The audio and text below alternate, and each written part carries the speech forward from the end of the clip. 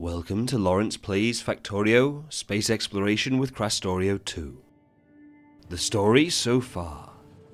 We found ourselves stranded on a strange planet inhabited by vicious insects. But undeterred, we plundered the planet of its resources. After lengthy construction, which was strangely harder than expected, we managed to build a rocket and leave the planet. An abandoned space station provided a nice starting point for our continued research. Specks in the sky became planets, with exotic materials to learn. Join us on Monday for the next chapter in our bid to grow the factory even further.